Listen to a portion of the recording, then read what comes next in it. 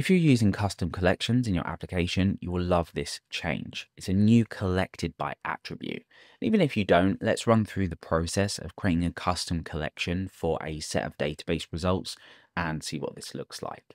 Okay, so the first thing I'm going to do is go ahead and just dump out all of the users in my application here, just using user get. Let's go ahead and create some in the database just so we have some results to play with. So let's go ahead and use our user factory and we'll go ahead and create out 10 items in the database here. Okay, so now that we've done that, let's go over to the browser and have a look. Now, this gets bundled up, these results get bundled up in a Laravel collection. So this is just a plain old collection class, which has all the methods you would expect to be able to do what you want with the data inside of these. It doesn't have to be for Eloquent, it can be just a standard collection as well. But we're talking about model collections here that we get the results back from Eloquent.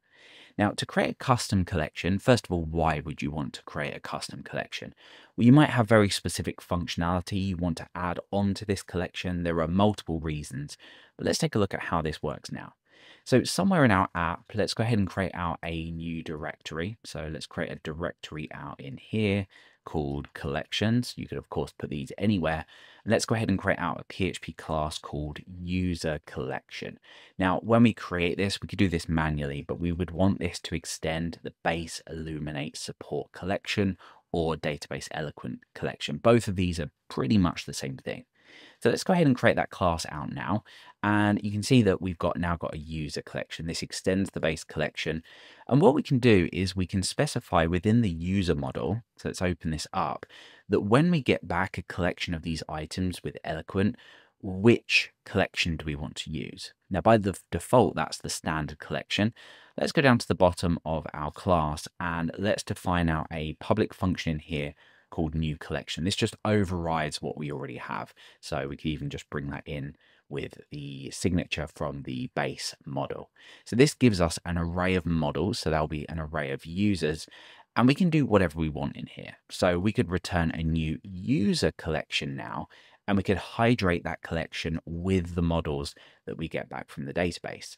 So now that we've done this, now that we've defined this new collection method, what's going to happen is we are now getting back a user collection, which is going to work in exactly the same way as a standard collection because we're just extending it, but we now have a custom collection. That means that over on the user collection, we could define out any of our own methods in here to do something with the data inside of it. Now that's beyond the scope of what we're talking about here. We just want to know what this new collected by attribute is and how it works. Well, it's a lot simpler. So over in our model, rather than defining or overriding this new collection method, we can do something a lot more convenient. We can come right to the top of our model and we can use the collected by attribute specifying the name of the collection. That is our user collection.